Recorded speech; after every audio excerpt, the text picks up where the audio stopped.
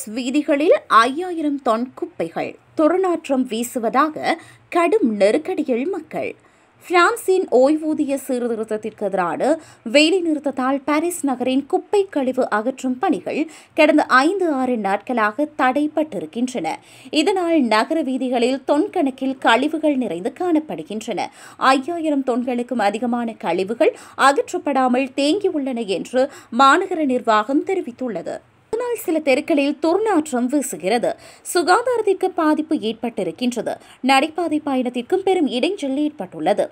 Paris நகரில் குடியிருப்பாளர்களால் தினமும் வெளியேற்றப்படுகின்ற கழிவுகள் வாகனங்கள் மூலம் அகற்றப்படும் கழிவுகள் தரம்பிருக்கும் மையங்களுக்கு கொண்டு செல்லப்படுவது வழக்கம்.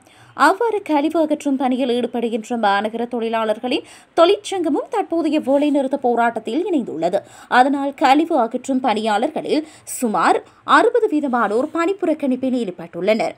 நகரின் வீதி ஓரங்கள் குப்பை கொள்கலன்களால் நிறைந்து காணப்படுகின்றன. கொள்கலன்கள் நிறைந்து வழுகின்றன. வெளியே தரையெங்கும் கழிவு பொதிகள் குவிக்கப்பட்டு வருகின்றன. கடும் காற்றின் காரணமாக குப்பைகள் வீதிகள் எங்கும் பறந்து சிதறுண்டு காணப்படுகின்றன. ஓய்வு பெறுகின்ற வயதை அறுபத்தி நான்காக அதிகரிப்பது உட்பட சட்டத்தில் சீர்திருத்தங்கள் செய்யப்படுவதற்கு எதிரான போராட்டங்கள் நாடெங்கும் தொடர்ந்து நடைபெற்று வருகின்றன. நேற்று சனிக்கிழமை நடைபெற்ற பேரணிகளில் இதற்கு முன்னர் போலன்றி மக்கள் எண்ணிக்கை குறைந்திருப்பதாக மதிப்பீடுகள் தெரிவிக்கின்றன.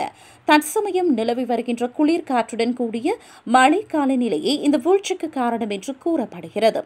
நேற்று சனிக்கிழமை இரவு நடைபெற்ற விவாதங்களுக்கு பின்னர் புதிய ஓய்வூதிய சட்ட நகலை நாட்டின் செனட் சபை உறுப்பினர்கள் ஏற்றுக்கொண்டு வாக்களித்தனர். அது அடுத்த வாரத்தில் நாடாளுமன்றத்தில் இறுதி வாக்கெடுப்புக்கு விடப்பட உள்ளது இதனால் தொழிற்சங்கங்கள் சீற்றமடைந்துள்ளன. பரபரப்பான நிலைமை தோன்றியுள்ளது.